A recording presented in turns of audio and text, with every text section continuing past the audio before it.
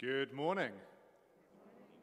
And a very warm welcome, and also a very warm welcome to everyone joining us online at home. It's great to have you here in person and via the internet. Um, just a couple of notices to draw your attention to. Firstly, to say that in the months of July and August, we're going to go down to one service, so 10:30 service only. It will be broadcast and it will be recorded as well for those who can't join in person. Uh, I'm away for the first three Sundays of July and we'll have Alistair Jessamine standing in for me. Um, also, to say that we have an organ recital coming up. In fact, we have a few, but the first is on the 20th of June at 3 p.m. It is free to come, but Matt would love you to give something to Retiring Collection on your way out uh, towards the organ fund. Um, I don't actually know what's going to be played on that day, but it'll be fantastic, I'm sure. But uh, if you want more information, please chat to Matt or chat to Sandra later on in the week during um, in the office. Also, say we are still looking for volunteers for the open church in the summer. If you'd like to help out, then please get in touch with Sandra. And thank you to all the volunteers who have helped uh, sign up for weeding. And in fact, already some has begun, I saw. So thank you very much. The rest can all be found in the order of service, so please have a look at that. Uh, and hopefully next week we'll have the order service also online via the website. But we're just dealing with a few teething problems with the new site. That's all I wanted to say. So let's begin with our call to worship, and if you could say the words in bold. Called to be branches in Christ's body, we yearn to be connected to the vine. Called to be mustard bushes offering shade to God's creatures.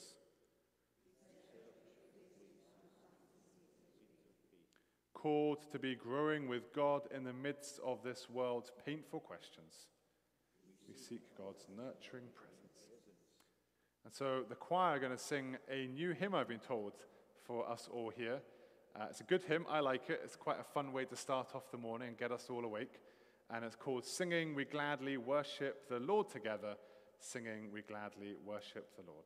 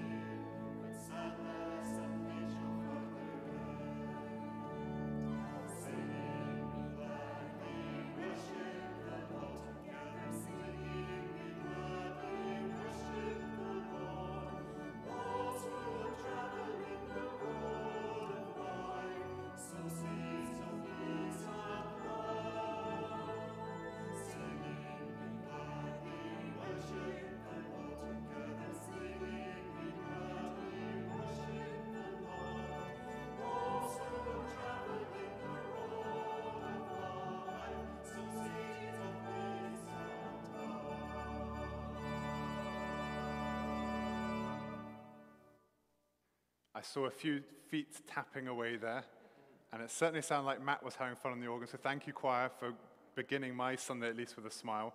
Uh, and hopefully, it's another one to add to our repertoire in the days to come when we are also allowed to sing.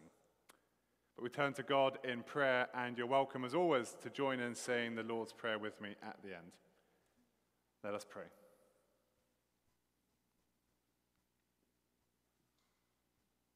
God of small seeds and mighty plants, you take our meager lives and with your love cause them to produce acts of loving kindness for you in this world. You hear our cries and find us when we are lost and wandering in fear. You bring us home with you so that we may be made whole, rejoicing in your goodness. Help us to joyfully serve you all our days, knowing that you are always watching over us. Prepare our hearts now to receive your word and our spirits to respond in eagerness to serve you in the world. God who delivers and redeems. We confess that we have at times forgotten to water your seeds in the world that we have abandoned the hungry, forgotten the sick, and ignored the cries for help. Forgive us when we have not lived for others. We have not been willing to risk ourselves for the sake of others. Call us now into new life, a life that has lived in the promise of your love for the whole world a life in which we hear the joyful truth that our sins are forgiven this day. Hear us now as we come to worship you, saying the words you taught us to say, saying, Our Father, which art in heaven, hallowed be thy name. Thy kingdom come, thy will be done on earth as it is in heaven. Give us this day our daily bread, and forgive us our debts as we forgive our debtors. And lead us not into temptation, but deliver us from evil. For thine is the kingdom, the power, and the glory forever. Amen. Today we're looking at the parable of the mustard seed. And I was wondering what to do as an object lesson. And I found this lying in our house. Anyone who's got kids or grandchildren might know it. It's kind of like kinetic sand foam stuff. And from this, you can make the most wonderful things. And so you can rip bits off, and you can build structures, and you can do fantastic things. You can build houses and cars and wonderful things. But I didn't want to show you that. Because our kids have been running around in our garden recently. And for those who know, the Manse garden is quite big, so there's lots of place to run around and hide.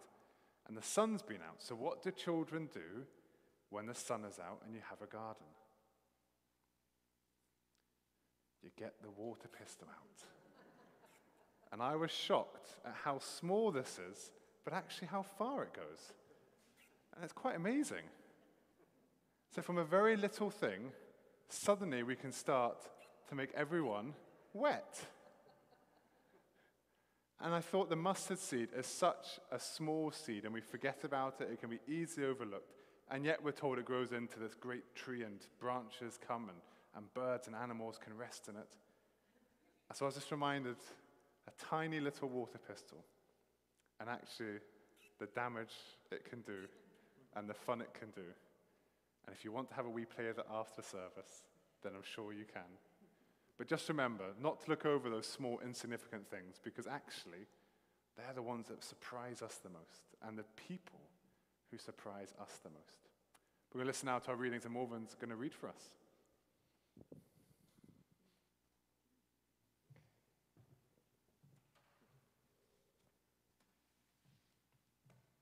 First reading is Psalm 20, a prayer for victory, and taken from the Good News Bible. May the Lord answer you when you are in trouble. May the God of Jacob protect you. May he send you his help from his temple and give you aid from Mount Zion. May he accept all your offerings and be pleased with your sacrifices. May he give you what you desire and make all your plans succeed. Then we will shout for joy over your victory and celebrate your triumph by praising our God. May the Lord answer all your requests.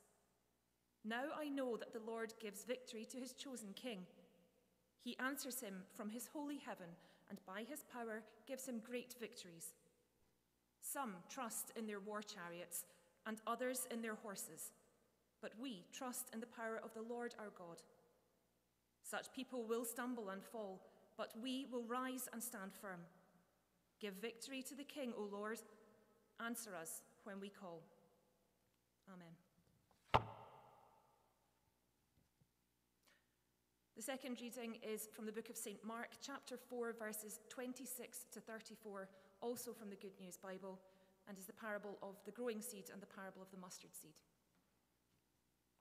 Jesus went on to say, The kingdom of God is like this a man scatters seed in his field. He sleeps at night, is up and about during the day, and all the while the seeds are sprouting and growing. Yet he does not know how it happens. The soil itself makes the plants grow and bear fruit.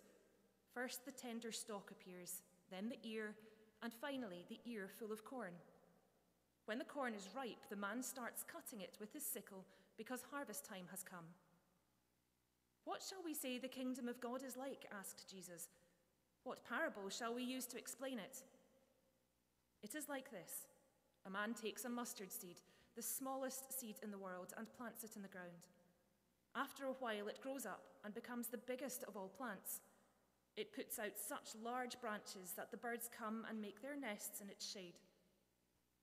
Jesus preached his message to his people using many other parables like these. He told them as much as they could understand. He would not speak to them without using parables, but when he was alone with his disciples, he would explain everything to them. Amen.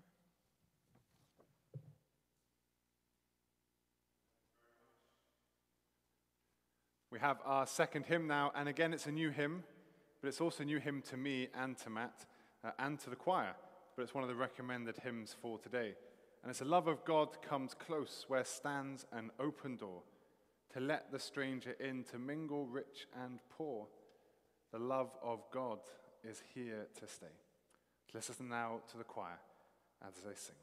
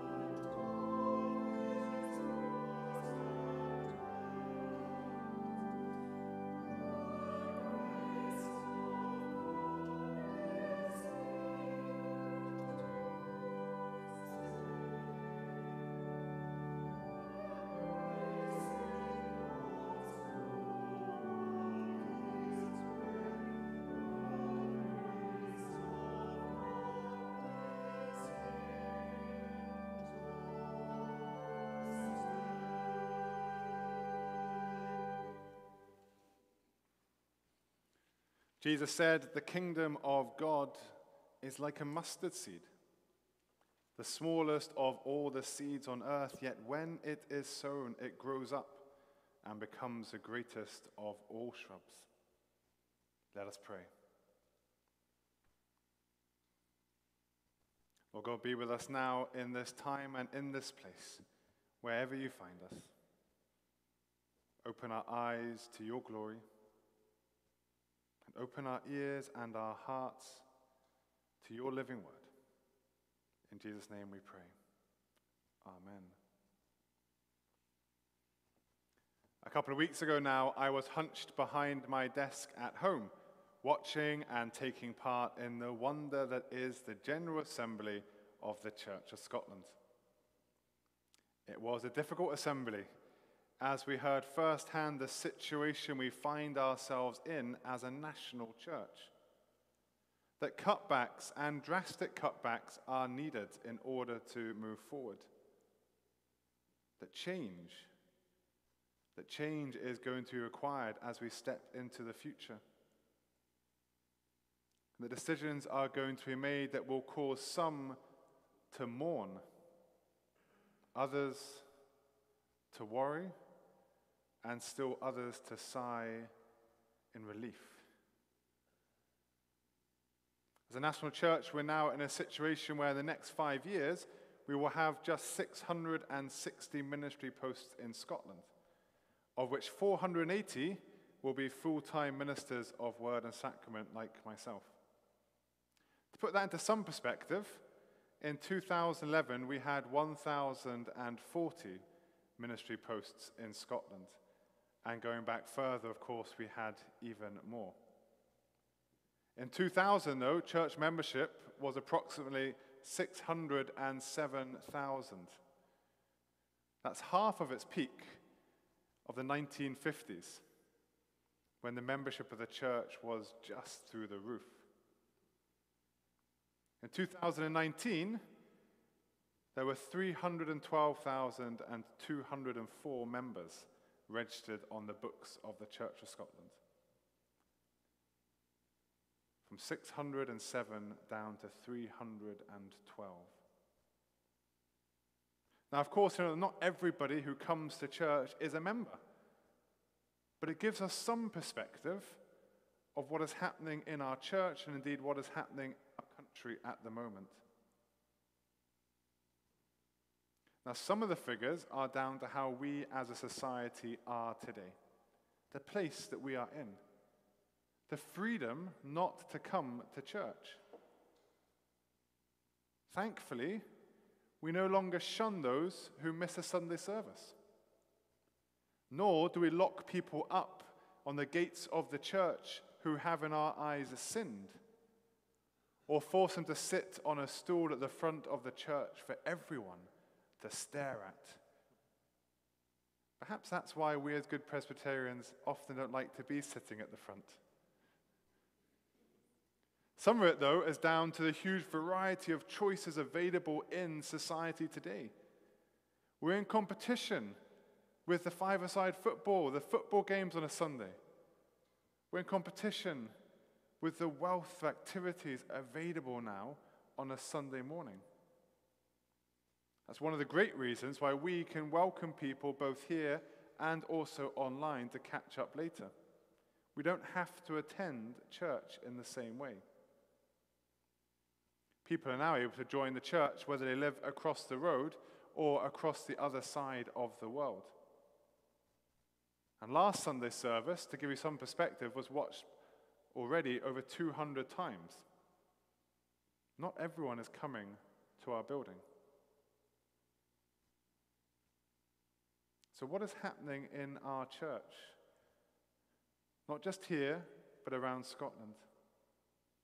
Is there really any hope for us when we hear those figures and those numbers? That people are drastically, drastically running out of the church.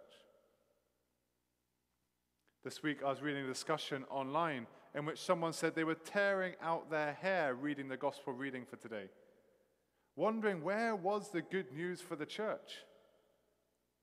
Wondering if there was any hope or if we were just like sleeping gardeners. It's so easy to understand the person's frustration and worry as we think of where we are. But I do wonder what is the essence of the parable that we read? What's so interesting about the parable of the mustard seed is that the mustard seed is actually a weed. It's not a glorious plant at all. It's far from the noble oak tree or the beautiful silver birch. While other spring, when other weeds spring from the ground, the tiny mustard seed, the tiny, tiny mustard seed, inconspicuously comes to life, sending out a single root to probe the earth for nourishment. While the other weeds are gone in a single season, the slow, steady progress of the mustard seed's offshoots continue on for generations.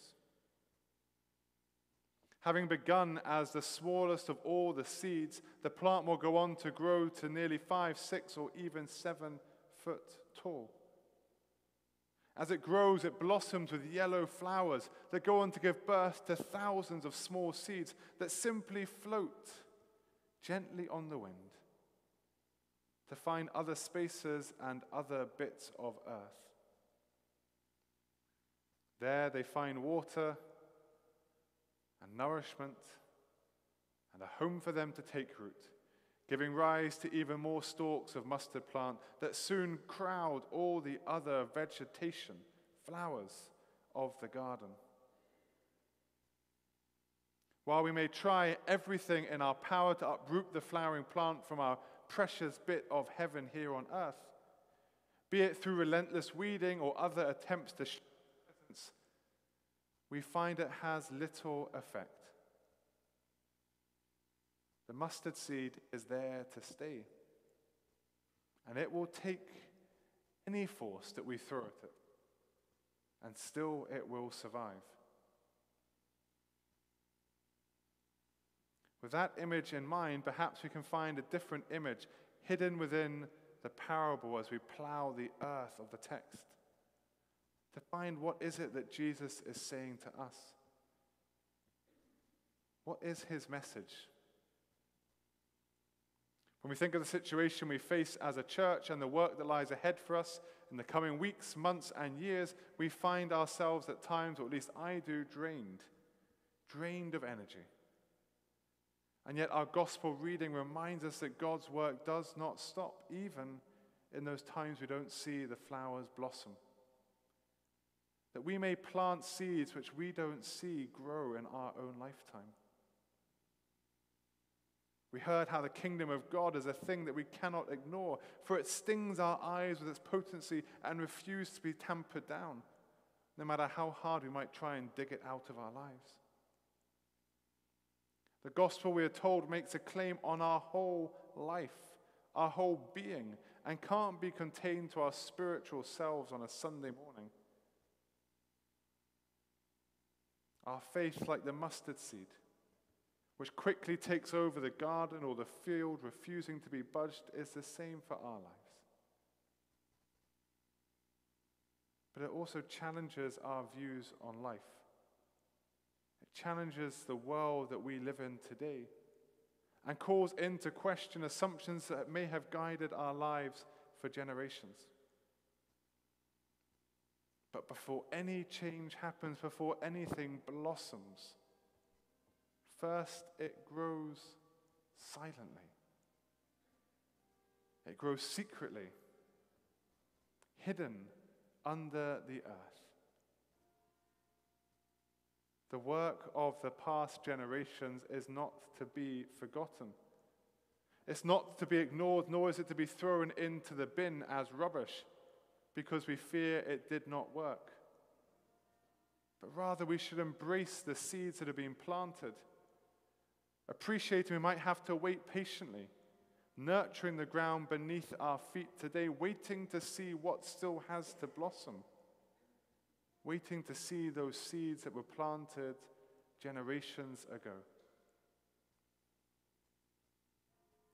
I was reading this week how the mighty oak tree will produce somewhere in the region of 10,000 acorns a year. 10,000 acorns a year. We may think it as a waste because 10,000 oak trees do not grow every year from a single tree. Instead, they're dropped on the ground. And a tree can be lucky if just half a dozen will grow in its whole lifetime. But although all the seeds may not grow, they do provide a vital source of nourishment and food for the birds, mammals, and the ground beneath its roots.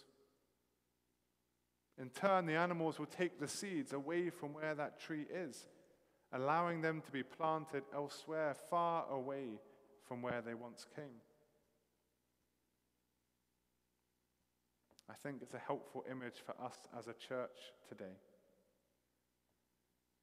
As we look for those seeds of yesteryears, as we expand our view from our own doorstep to further afield, giving thanks that people who have grown up in these pews may not be here today but have gone on in their faith to other churches and other places. Not every seed that we plant has to grow into a wonderful project or a fruitful church. Perhaps some of the seeds we plant ignite a spark in someone's mind to grow an idea that they can take with them and use elsewhere. We haven't got it all right in the past, nor will we be perfect as we move into the future. We shouldn't discount the fact that we have produced seeds of potential in the past. And we will continue to produce them as a congregation and as a church. But we are asked once again to practice patience, to practice trust, and to practice perseverance. To appreciate that when our seeds do poke up through the dirt and muck and dust of life, they may not be what we expected. Perhaps not even what we wanted, but they are there and ready to grow if we will just give them the nourishment and time they need. Because we're challenged to open our eyes and acknowledge that God is yearning to break into our lives and offer us a joy and a peace that the world can never offer. Like the mustard seed, the followers of Jesus and us today, we're really just a bunch of ragged folk. We're full of doubts, we're full of fears. At times, we're unable to comprehend much of what Jesus says or what he did. But the reign of God is bursting into history rests on the shoulders of people like us the insignificant, the overlooked, the doubtful. And it's from this scruffy seed that the reign of God will be proclaimed, transformed into something of greatness in which others can come and find their rest. Out of the most insignificant beginning, God creates a mighty wind that will blow through the entire world, picking up those insignificant and forgotten people. We just have to look at the early church, that seed of an early church, which began with a small group in Jerusalem and now is in every single corner of our globe. The parable reminds us that no seed is or should be seen as insignificant. So let us embrace Jesus as our gardener.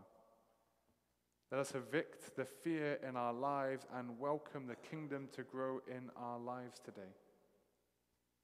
Let's not try and uproot the flowering plant out of fear of where that seed may land. But let's rejoice that God is entering every single part of our world that we, like the birds, can find rest and shelter within the shade of God's love. That when we get frustrated that things aren't going as quickly as we may want them to, that perhaps we just need to take a step back and be patient as we leave God to finish his plans for our lives. As we allow the seeds to flower and in turn produce its own seeds to blow through our lives again. And as we worry about tomorrow, perhaps we should remember that the seeds of yesterday are still waiting to blossom today.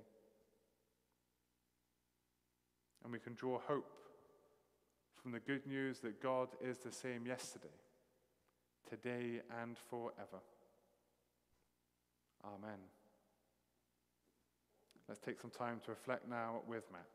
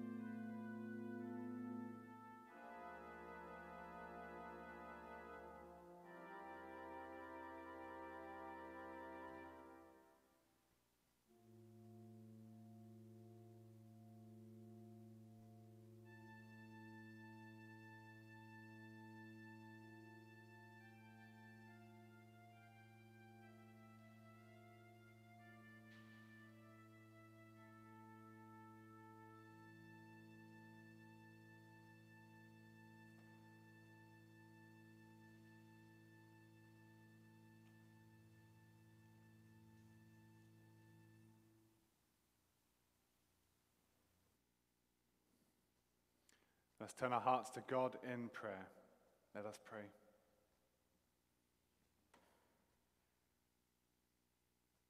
Loving God, we come today in prayer, planting seeds in your garden for our family and our friends, those whom we love, care for, and cherish. Lord God, you know their inner beauty and their jagged edges. You know their needs and their challenges. You know the hopes that you have for them. And so we ask that you nourish them as they grow into your love.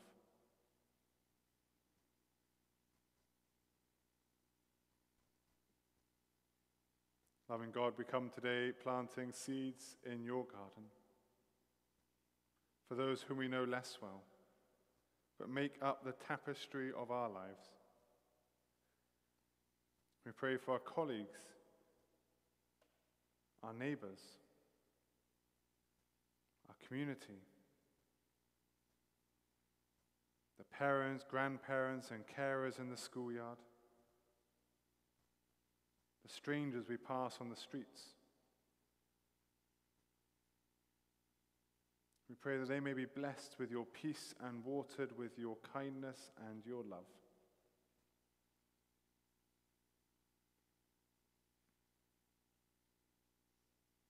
Loving God, we come today planting seeds of prayer in your garden for those in the public eye, for good or for ill. For the world leaders attending the G7 summit,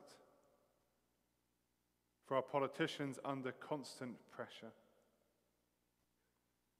for sportsmen and women grappling with huge expectations laid upon them every day. For our celebrities who are never out of the public eye. We ask you may feed them with your wisdom and support.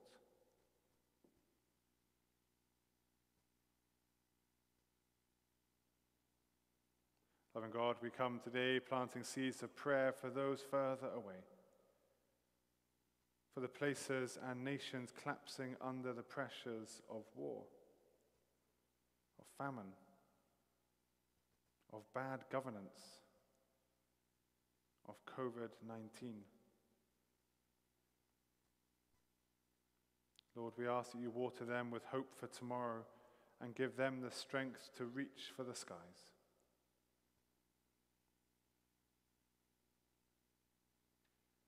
Finally, God, we come planting seeds of prayer in your garden for us. In the silence, we come with our own needs, our own troubles, and our own hopes, and our own dreams.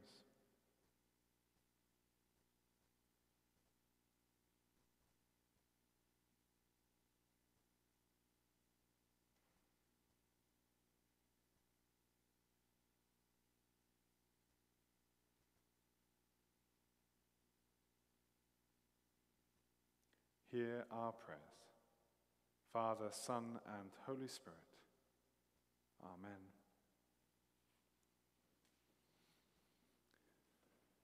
We finish our worship today with the hymn, O Jesus, I have promised to serve you to the end. Be thou forever near me, my master and my friend.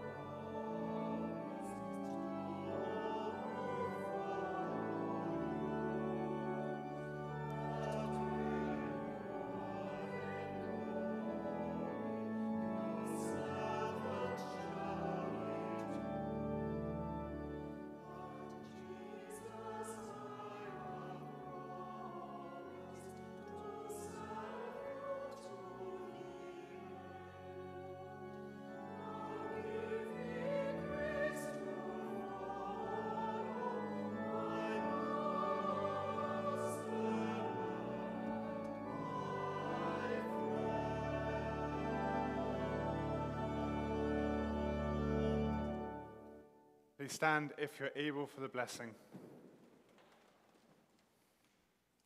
Go now with the blessing of God who waters us with love and feeds us with hope for tomorrow. So may you and those whom you love and those whom you struggle to love know the blessing of God, Father, Son, and Holy Spirit, this day and forevermore. Amen. Please be seated.